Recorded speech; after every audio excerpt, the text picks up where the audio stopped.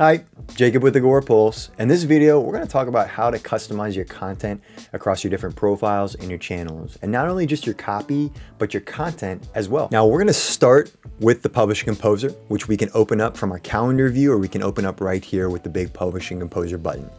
Now, when we open this up, we can go ahead and select profiles that we want to cross post to, and we'll come back to that in a second when we talk about customizing each options. So I'm going to select this whole group. We're actually going to turn off YouTube for this example, um, but we're going to go ahead and start building out our copy. Hey, who is ready to get fitter today? Now, when we're ready to add in our content, we do have the ability to come in here and add in from our library through Canva or directly from our computer. I'm gonna go ahead and take a, a, video here that we've got, upload it directly to the system. Now, once we have our content and our copy built out, we do have the ability to look at all of our live previews. What is this gonna look like on each platform?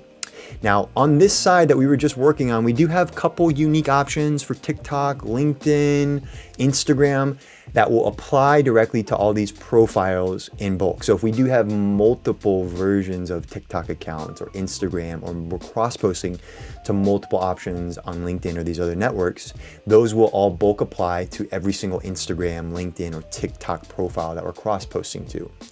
So for those that are managing multiple accounts on multiple networks or just managing multiple profiles across these different networks, you're gonna have a really great option here to customize all of your content. For example, on TikTok, we may wanna add in some hashtags here that we didn't add on the initial copy that we built out for all posts. So we can come in here, search for our TikTok hashtags or pick a different list and add those in directly here. Now, once we're done customizing, you'll see a little custom tag here letting you know that you've customized this. So any changes that you make on this general side will not apply to the custom post. And you have a counter up here as well too to tell you how many posts you've customized.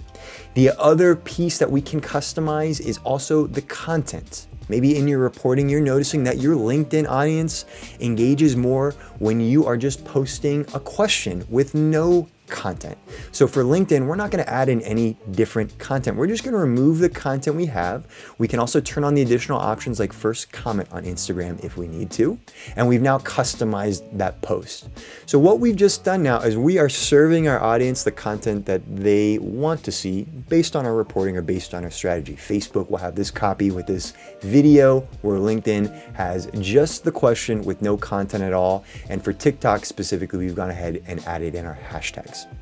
Thanks for watching. To watch more or learn more about our advanced publishing features, please visit our Help Center or start a direct chat with us today. Thanks.